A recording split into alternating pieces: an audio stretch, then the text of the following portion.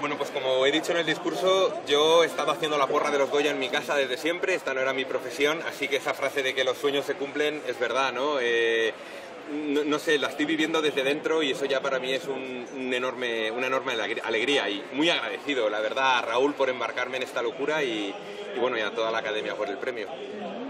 Muchas gracias. ¿eh? A, a vosotros, de verdad, por todo.